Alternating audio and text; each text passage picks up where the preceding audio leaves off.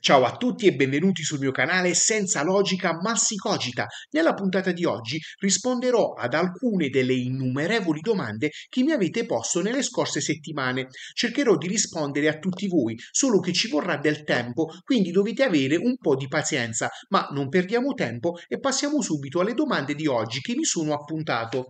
La prima è è lecito ragionare con il linguaggio naturale? La risposta è sì, è assolutamente lecito. E questo ci porta alla seconda domanda. Qual è la differenza tra ragionare con il linguaggio naturale e ragionare con il linguaggio logico-matematico? Il linguaggio naturale, nel nostro caso l'italiano, serve a comunicare pensieri, idee, emozioni, sensazioni, eccetera, agli altri esseri umani ed è ricchissimo di sfumature, di sensi e di significati, nonché è molto versatile. Queste caratteristiche possono costituire un enorme vantaggio oppure un grande svantaggio a seconda dei casi. Per esempio, grazie alle caratteristiche summenzionate, il linguaggio naturale si presta in maniera eccellente a raccontare e scrivere poesie, fiabe, favole, romanzi, saggi e così via, e può essere utilizzato anche per effettuare i ragionamenti. Basta pensare proprio ai ragionamenti sviluppati da filosofi e scienziati utilizzando proprio il linguaggio naturale. Io stesso, in questo video, sto utilizzando il linguaggio naturale per effettuare una serie di ragionamenti. Il problema è che quando si utilizza il linguaggio naturale per effettuare dei ragionamenti, la sua ricchezza di sfumature, di sensi e significati e la sua incredibile versatilità, se non si presta la dovuta attenzione, potrebbero trasformarsi in mancanza di rigore, precisione e accuratezza e rivelare molta ambiguità. Infatti, quando ci si confronta nel linguaggio naturale è molto facile fraintendersi, da un lato attribuendo sensi e significati diversi allo stesso termine e dall'altro lato utilizzando termini diversi per indicare lo stesso senso e o significato. A tal proposito vi fornisco alcuni esempi elementari che servono a rendere l'idea. Considerate le cinque proposizioni che vedete scritte alle mie spalle. Michele Totta è un uomo, l'uomo è un animale, l'uomo è un animale razionale, Dio è onnisciente, Dio è. Come potete vedere, tutte e cinque le proposizioni contengono un termine in comune, che è la è, l'ho indicata con vari colori. Inoltre, ad eccezione forse dell'ultimo caso, Tutte le altre proposizioni sono sostanzialmente strutturate dalla stessa maniera. Grosso modo, quindi, sembra che la E venga utilizzata nella stessa accezione in tutti e cinque i casi. Sembra, ma in realtà non è così. Per accorgerci di questo fatto, proviamo a tradurre queste proposizioni nel linguaggio formale. Nel primo caso abbiamo Michele Totta è un uomo. La E va intesa nella sua accezione di appartenenza, cioè stiamo dicendo che vi è un oggetto o un individuo, Michele Totta, che appartiene all'insieme degli uomini. Quindi indicando con M minuscolo Michele Totta e con U maiuscolo l'insieme degli uomini, scriveremo M appartiene a U. Il secondo caso sembrerebbe praticamente identico al primo. Infatti al posto di Michele Totta abbiamo l'uomo, E è sempre quella, al posto di un uomo abbiamo un animale. Apparentemente è la stessa cosa. E invece no, perché in questo caso la E viene utilizzata nella sua accezione di inclusione, cioè stiamo dicendo che l'insieme degli uomini è contenuto nell'insieme degli animali. Quindi indicando con U, U maiuscola l'insieme degli uomini e con A maiuscolo l'insieme degli animali, scriveremo che U è un sottoinsieme di A. Il terzo caso sembrerebbe sostanzialmente identico al secondo. Infatti abbiamo l'uomo è un animale, qui c'è solo in più razionale. Quindi è la stessa cosa di prima. E invece no, perché in questo caso la E viene utilizzata nella sua accezione di identità, cioè stiamo dicendo che l'insieme degli uomini corrisponde esattamente a quello degli animali razionali e che l'insieme degli animali razionali corrisponde esattamente a quello dell'uomo. Quindi scriveremo che U è uguale a R.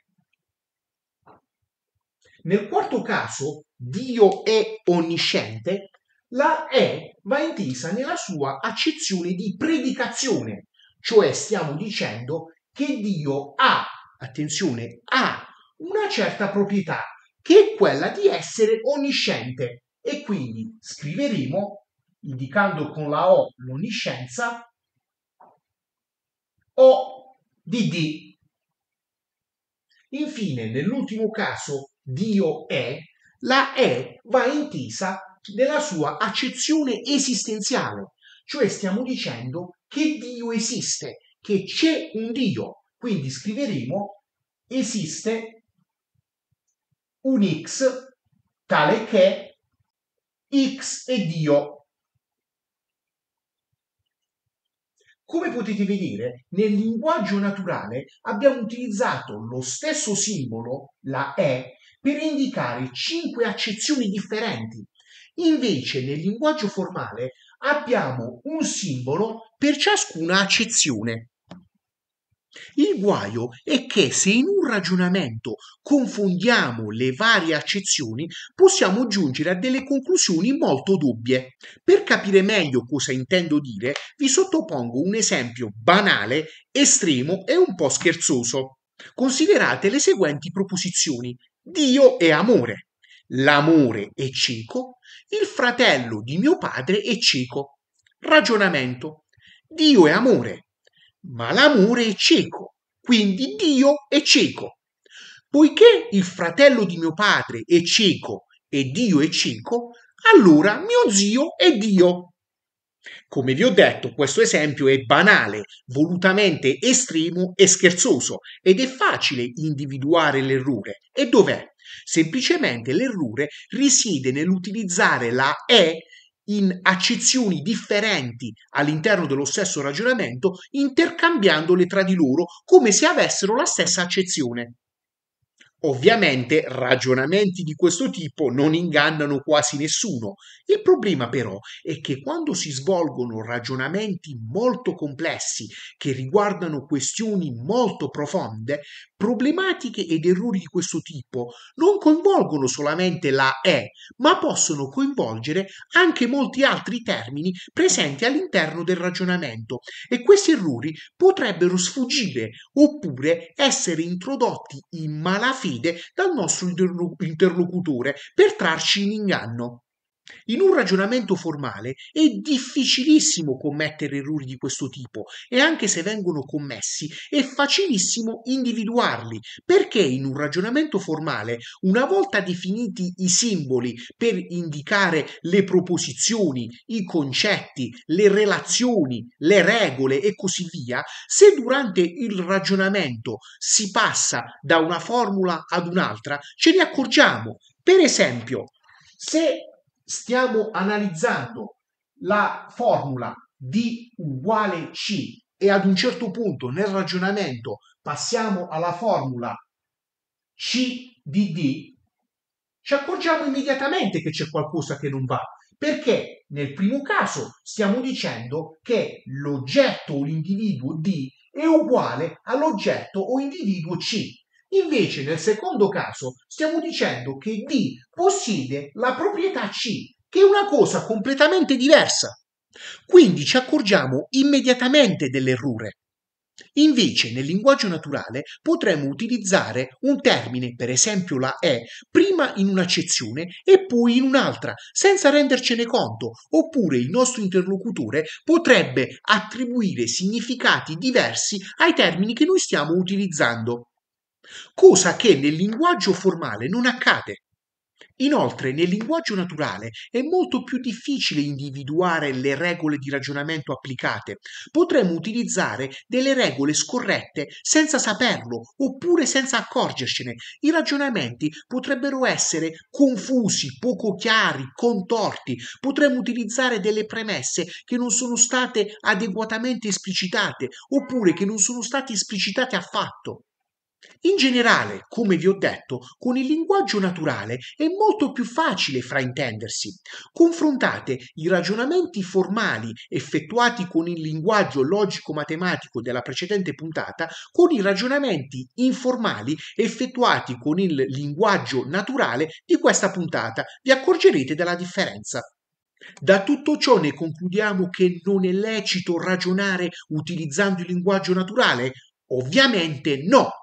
Infatti è possibile svolgere delle dimostrazioni esibendo un ragionamento basato sul linguaggio naturale, solo che bisogna prestare molta attenzione a come ci esprimiamo. Dobbiamo cercare di esplicitare il più possibile tutte le premesse o almeno quelle più importanti del nostro ragionamento e dobbiamo sforzarci di essere più lineari chiari e precisi possibili nella nostra esposizione. Possiamo affermare che il linguaggio matematico è migliore del linguaggio naturale? Non dovete vederla in termini di migliore peggiore. Il linguaggio logico-matematico ci consente di fare specifiche cose in maniera superba. Il linguaggio naturale ci consente di fare altre cose altrettanto bene, quindi dipende dal contesto e da quello che intendiamo fare. Bene, passiamo alla terza domanda. Le opinioni che nascono dai ragionamenti degli individui, da quelle del bar dello sport fino a quelle dei corridoi di Montecitorio, possono essere considerati solo per coerenza? Dato che un ragionamento può essere coerente e falso, allora è meglio non credere a nessuno? In ossequio a quanto ho detto in precedenza, per prima cosa dobbiamo chiarirci sul significato dei termini che stiamo utilizzando. La verità è una caratteristica di una proposizione riferita ad un determinato ambito di oggetti, indipendentemente dalle altre proposizioni. Vi ricordo che il termine oggetto deve essere inteso nella sua accezione più ampia possibile, quindi con oggetto non intendiamo solo il computer, il mouse, un tavolo, ma anche i concetti o i pensieri sono in questo senso degli oggetti. Una dimostrazione invece è uno strumento che ci consente di determinare la verità in una maniera molto specifica. Una dimostrazione non può essere vera o falsa. Una dimostrazione può essere solo corretta o scorretta. Questo perché Mentre verità e falsità costituiscono le proprietà di una proposizione, correttezza e scorrettezza si riferiscono ad un procedimento. Le due cose non sono necessariamente correlate. Infatti, nel caso in cui una delle premesse dalle quali siamo partiti è falsa, anche una dimostrazione corretta può condurci a una conclusione falsa, così come una dimostrazione scorretta casualmente può condurci a una conclusione che è vera. Una dimostrazione corretta ci garantisce che la conclusione è necessariamente vera solo a condizione che le premesse siano tutte vere. Stessa cosa dicasi per un'inferenza, che è una qualsiasi sequenza finita di proposizioni di cui l'ultima viene detta conclusione e tutte le altre prendono il nome di premesse. Un'inferenza si dice corretta se e solo se la conclusione è conseguenza logica delle premesse, altrimenti viene detta scorretta. Affermare che un'inferenza è corretta non significa dire che la conclusione è vera, ma solamente che è stata ottenuta in maniera deduttivamente corretta. Ricorderete che di questi argomenti ne ho già parlato in precedenti video. Un argomento invece è un qualsiasi gruppo di proposizioni in cui una delle quali viene considerata conseguenza logica di altre che, come al solito, sono le premesse. Tutto ciò significa che dobbiamo considerare tre coppie, correttezza scorrettezza, validità invalidità, verità falsità. La coppia correttezza, scorrettezza si riferisce esclusivamente alle regole di inferenza utilizzate nel ragionamento. La coppia validità-invalidità non può essere applicata alle singole proposizioni perché si riferisce alle relazioni tra le proposizioni. Ciò significa che solo un argomento può essere valido o invalido. Ovviamente gli argomenti validi contengono tutte premesse vere.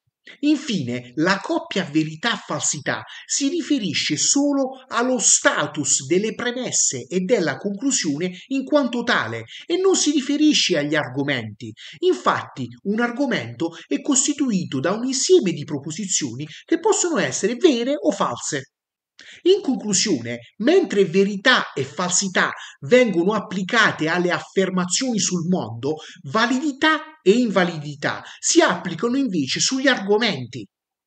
Venendo alla domanda, essa fa riferimento ad un ragionamento coerente ma falso. Questo tecnicamente non può essere, perché in base alle definizioni che abbiamo appena fornito, un ragionamento può essere coerente ma invalido, cioè contenere proposizioni false, oppure può essere coerente ma scorretto, cioè essere basato su delle regole di inferenza che non sono corrette. Purtroppo molte delle opinioni che ascoltiamo dal bar dello sport fino ai corridoi di Montecitorio sono ottenute utilizzando dei ragionamenti invalidi e scorretti, secondo le accezioni che ho poc'anzi menzionato e contengono le cosiddette fallacie logiche. A proposito di questo argomento ne tratterò diffusamente nei prossimi video dedicando un'intera sezione ad esso. Fatemi sapere se può interessarvi. In definitiva, non dobbiamo più credere a nessuno? Ovviamente no. Credere in qualcosa non è sbagliato in sé. La cosa importante però è che dobbiamo imparare a ragionare nella maniera migliore possibile. A tal proposito mi permetto di leggervi un estratto del mio saggio che, a mio avviso, esprime al meglio quello che intendo dire. Ragionamento e deduzione costituiscono un aspetto fondamentale, spesso trascurato perché dato per scontato, non solo per le discipline scientifiche e filosofiche, ma anche nella vita quotidiana, rivelandosi essenziale per la crescita e lo sviluppo sia del singolo individuo, sia di una società che intende liberarsi, per quanto possibile, da dogmi, pregiudizi, luoghi comuni, eccetera. Infatti, lo studio del ragionamento deduttivo, nonché degli altri tipi di ragionamento, ci può permettere di migliorare la capacità di pensare criticamente, sviluppare abilità argomentative utili a giudicare le ragioni che ci inducono a ritenere se determinate affermazioni siano valide, nonché i motivi per i quali debbano essere accettate porci le giuste domande, riconoscere gli errori di ragionamento che troppo spesso contaminano il dibattito pubblico, politica e società e correggerli, evitare di assumere ipotesi false o contraddittorie, non confondere condizioni necessarie con sufficienti, conferire valore alle premesse rilevanti e trascurare quelle irrilevanti, trovare la soluzione ai problemi, individuare le migliori strategie conoscitive, interpretare correttamente dati e grafici statistici, smascherare argomentazioni apparentemente sensate e ragionevoli, evitando di essere irretiti da tranelli illogici e psicologici che potrebbero potrebbero indurci ad accettare conclusioni non valide e addirittura consentendoci di sfuggire agli inganni che a volte riserviamo anche per noi stessi. Tutto ciò ci permette di comprendere che se gli esseri umani utilizzassero la razionalità si lascerebbero convincere solo da argomenti validi ed invece nella stragrande maggioranza dei casi accade l'esatto contrario, da un lato si fanno convincere da argomenti invalidi, fallaci e o costituiti da premesse palesemente false e, ciò che è forse peggio, dall'altro lato non si lasciano convincere da argomenti perfettamente validi. In definitiva, Quanto detto costituisce un tassello fondamentale per la presa di coscienza della nostra fallibilità deduttiva, intesa non tanto come l'impossibilità di stabilire delle certezze o delle conoscenze definitive, quanto l'esistenza di modificazioni e ampliamenti delle nostre conoscenze che contraddistinguono qualsiasi attività intelligente. Naturalmente questo è quello che io auspico per la società e per me stesso, perché ovviamente nemmeno io sono infallibile e posso commettere degli errori nei miei ragionamenti. Bene, questa puntata termina qui, noi ci vediamo la prossima volta e ricordate, senza logica mal si cogita.